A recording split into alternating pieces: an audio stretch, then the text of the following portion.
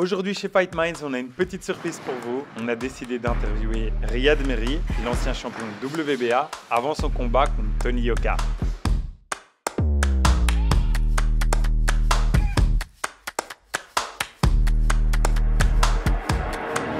Bonjour à tous, je suis super content de pouvoir être ici en Belgique avec Riyad Meri. Vous le savez peut-être pas, mais Chris et moi, on est belges, on le mentionne plusieurs fois dans le podcast. Et donc, je voulais avoir un sportif. Et quel sportif, mais Riyad, merci beaucoup de nous avoir reçus ici euh, pendant ton entraînement. Comment tu vas?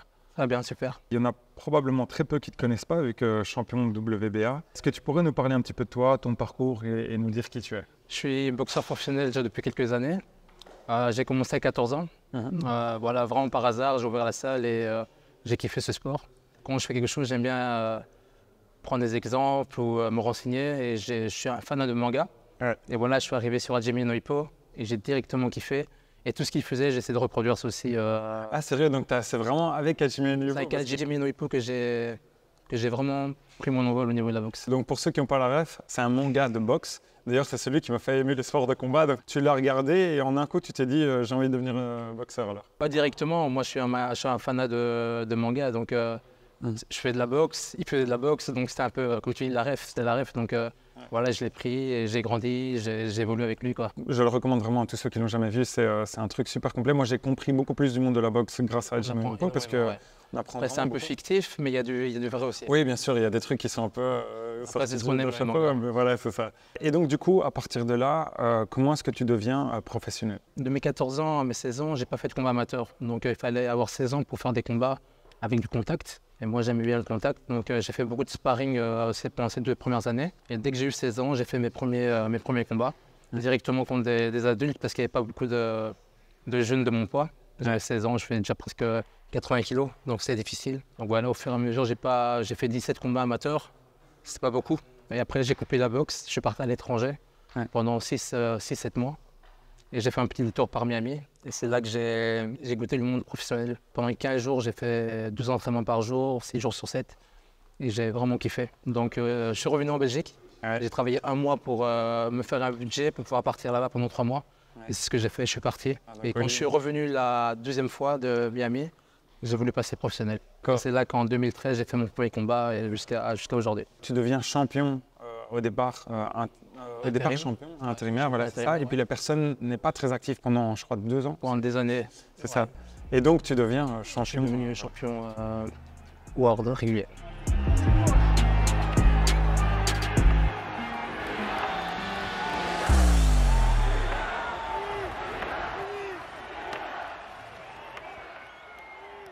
Comme tu le sais, nous à la base, on fait beaucoup de MMA. On a euh, décidé de s'ouvrir un petit peu plus à- au monde de la boxe. Tu as changé de, de catégorie de poids. Ouais. Pour euh, ceux qui ne le savent pas, les catégories sont différentes en boxe qu'en MMA. Tu étais en cruiser.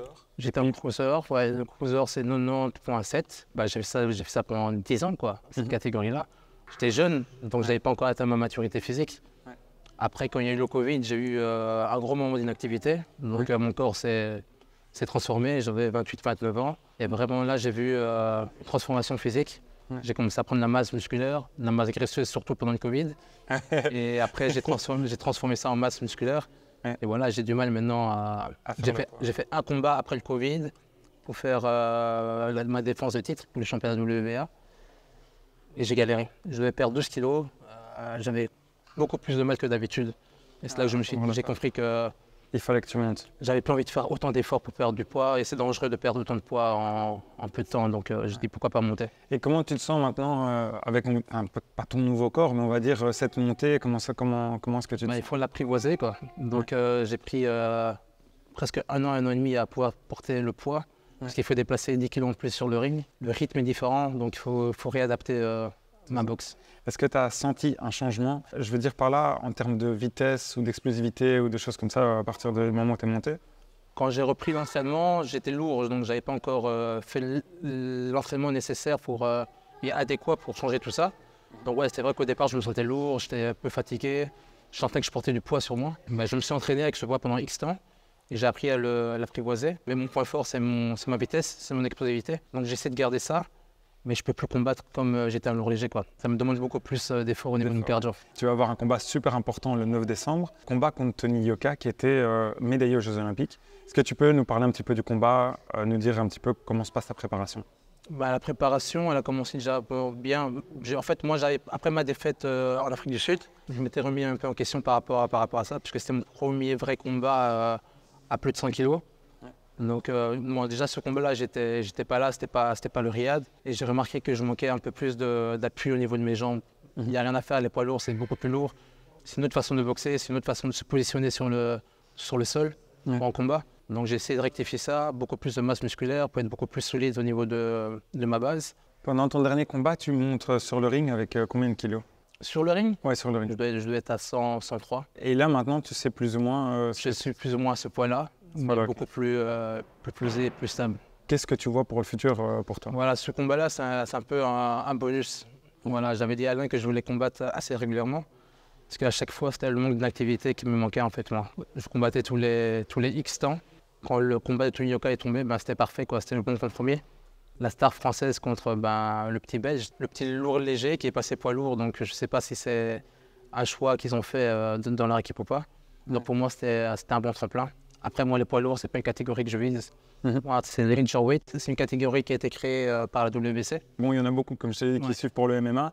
Euh, d'habitude, en MMA, c'est lourd, léger et lourd, et c'est tout. Et chez vous, vous avez cruiser, bridger, et puis euh, les lourds. Les bridgers, c'est juste une fédération qui l'a introduite, c'est la WBC. C'est ça. Les autres ne sont pas encore, euh, pas encore validé ce point-là.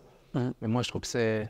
Avec la nouvelle génération de poids lourds qu'il y a bah, maintenant, mhm. c'est tous des gars, des monstres. Tu as bien vu mes sparring, c'est des gars de, de 2 mètres, 110 kilos. Quoi. ça, c'est la nouvelle génération. À l'époque de Tyson, c'était des poids lourds de 1m90, 95, rarement 2 mètres. Et ils étaient tous euh, à 100 kg, pas plus. Donc voilà, la génération, elle a changé. Donc je trouve qu'on devrait euh, rajouter une. une euh, Adapter, bien sûr. Non, mais pour ceux qui ne réalisent pas, donc on est à peu près la même taille, donc 1m83, 1m83, 84. ok. Bah, je, je t'aurais pas, à mon avis, ça doit être. Mes cheveux, maintenant, je dois faire 1m84, ouais. c'est ça. la première chose que j'ai pensé, c'est je me dis, mais comment est-ce qu'il combat euh, en poids lourd, si jamais c'est la même chose, euh, enfin contre un Ngannou, contre un, un, Fury, etc., il y a une différence énorme. Ils sont pour moi obligés de pouvoir faire euh, cette, différence parce qu'ils doivent être à quoi 120, 130 kilos, quelque chose comme ça? En Sénégal, ils sont à 115, 120, ouais. Ouais, c'est ça. Ouais. non, c'est gigantesque, ouais, c'est trop. Là où tu as eu ta première défaite, donc tu as eu une série énorme de victoires, et puis tu as une première défaite qui est à Marseille, cette fois-ci c'est à Paris, c'est un peu différent. Est-ce que ça joue sur ta partie mentale? Est-ce que tu le prends comme une revanche? Est-ce que comment est-ce que tu le vois? Bah déjà, je peux pas faire deux fois contre, euh, contre des Français. c'est pas possible. Et non, voilà, la première fois à Marseille, c'était une très bonne expérience. C'était une défaite euh, enrichissante au niveau de, de ma boxe. J'ai appris énormément sur moi, j'ai appris énormément sur ma façon de, bah, de recevoir des coups. J'ai upgradé mon, niveau de boxe grâce à, grâce à cette défaite. Et après, je t'avoue, euh, Paris, Marseille, je ne vais pas me sentir dépaysé parce que comme c'est à Paris, il y a, on a trois heures de, de Bruxelles. Je sais que j'ai un groupe, donc je ne vais pas me sentir seul là-bas. D'un point de vue privé, tu es devenu papa. Est-ce que tu peux nous dire si ça, euh, bah, comment est-ce que ça se passe ce changement? Est-ce que c'est pas trop, pas trop compliqué ou au contraire, est-ce que ça t'apporte beaucoup de bonheur À aucun moment, je me suis perdu. Je me suis demandé si j'étais encore boxeur. Moi, je suis pas eu de papa. Je n'ai pas grandi avec un papa. J'ai grandi avec une maman qui a fait les deux rôles. Toujours juré que euh, voilà, si j'avais un enfant, c'est c'est d'abord la priorité euh, à mon enfant par rapport à mon sport. C'est une petite fille, un petit garçon Une petite fille. Okay, J'étais deux fois plus obligé d'être présent dans sa vie. Quoi. Et voilà, moi, c'est mon, mon kiff, c'est ma vie. Est-ce que tu sens que ça a eu un impact d'un point de vue sportif euh, de, de, devenir papa? Bah, Ça a eu un impact au niveau de mes préparations. C'est vrai que je suis moins dur à mes préparations. Quand on part à l'étranger, avant de partir à l'étranger, pour moi, c'était un, un, pur bonheur, c'était un moment de, soulagement. Après, quand elle est née, bah, partir à l'étranger 10-15 euh, jours, ça devenait compliqué. Quoi. La peur de rater les, premières fois. Le premier, premier la première pousse, le premier maman, le premier papa, le premier pas. C'est des trucs que je ne voulais pas rater, toi. Heureusement que je ne les ai pas ratés. Mes préparations étaient à chaque fois raccourcies, quoi. Mhm. Parce que ça me manquait et voilà, je prenais un billet pour retourner. Et je terminais à la fin de ma préparation en Belgique, quoi. je comprends. C'est vraiment ça le, le, petit bémol qu'il y avait euh, depuis que je suis venu.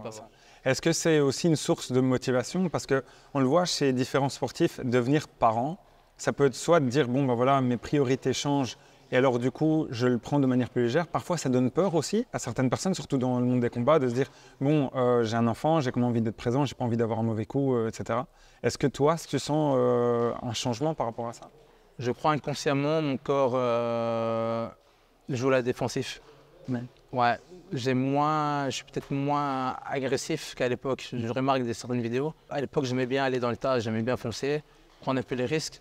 Ici, c'est vrai que si je travaille juste à défense, ça me suffit. Tu vois, je, comme tu dis, le mauvais coup il peut très vite arriver. Tu devras donc rentrer vu qu'il y a une différence de taille avec, euh, avec ton futur adversaire. Est-ce que justement tu sens pas que ça peut jouer un rôle euh, d'avoir euh, euh, cette appréhension? De toute façon, des grands, si on veut boxer des grands, tu es obligé de, de forcer un peu plus euh, l'espace. Tu as bien vu, la longe est totalement différente. C'est énorme. Donc si tu fais pas ça, il n'y a pas de combat. Et un gars de mon gabarit, de ma taille, je suis obligé de, de rentrer à l'intérieur, sinon il n'y a pas de combat. On a une euh, tradition chez Fight Minds, c'est de toujours poser une question euh, un peu plus personnelle, qui est si tu pouvais parler à ton toi d'il y a 10 ans, qu'est-ce que tu donnerais comme conseil? Il y a 10 ans, alors quel âge? Ouais. 21. Ouais. Donc je viens de commencer. Je leur ai dit, euh, ben, lâche rien, lâche rien, euh, on, on va y arriver.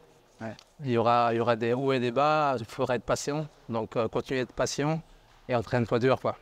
On va le faire. Je te souhaite vraiment euh, tout le meilleur pour ce combat. On est vraiment euh, impatient de pouvoir le voir. Je recommande à tout le monde d'aller euh, de pouvoir voir ce combat. C'est le 9 décembre contre Tony Yoka, c'est à Paris. J'ai regardé pendant que je regardais, que je me renseignais un petit peu sur toi, que hier c'était ton anniversaire. Donc c'était un joyeux anniversaire. Merci à toi. Et merci de nous avoir accueillis aussi chaleureusement ici dans. Bien, bienvenue. Merci, au revoir. Ciao. Ciao.